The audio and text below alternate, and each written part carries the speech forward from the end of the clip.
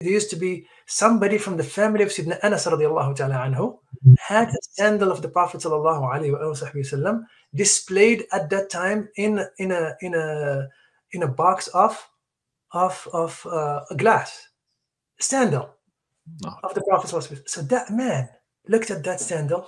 He took his uh, took his took whatever he was writing, and he copied it on leather. Copied it. How it this is how it looks. Copied it the way it is. Right? He copied the shape of it. This, this is the shape that you may see in you know the shape of the Prophet Islam sandal that became the symbol of Islam, by the way. At a certain time before the crescent, that the sandal was the symbol of Islam. Right? So he took it with him to Andalus and it took off.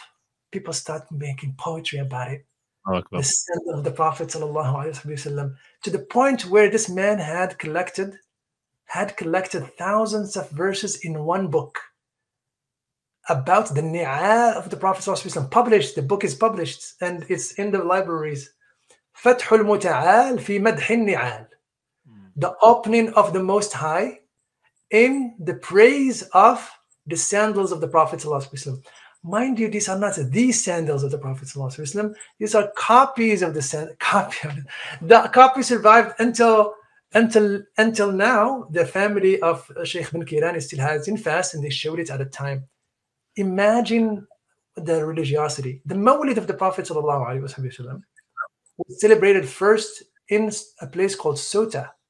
Mm. Sabta. Ceuta is Sabta, right? And the first Mawlid to be written is the Mawlid if, if is the Mawlid of Allahumma salli ala Sayyidina Muhammad. Um, Allahumma salli ala Sayyidina Muhammad. There used to be a judge of Sabta. Ibn, Ibn um, if it comes, I'll, I'll mention it. Right? Some people say it's if, if of uh, Ibn Dihya is the first one to write it to Al Malik Mu'azzam in, in, in Syria, right? In Erbil, in Iraq, in Erbil. But Ibn Dihya is Andalusian Mm. in is an Andalusian, right? So he wrote, wrote a Mawlid to and the and, and so so the celebrations started really early and that's where that's when so people say oh no but it's the fatimids no no it's the it's the ibn abil uh, what's the name? A family it's a, fa- a whole family of ibn abil ibn abil when it comes i will share it inshallah. So all of these are all of these see they are, are manifestations of manifestations of of love of the prophet sallallahu alaihi wasallam Kings were sent, will, will write on their own hands masahifs, beautiful, ornated with gold and so on. They would send them, and people from all over, from all over the spectrum of society. As I said, people who don't have, who don't have eloquence would write to the Prophet ﷺ, would send, would commission somebody to, to, to write to them to entreat the Prophet. ﷺ. So Oh.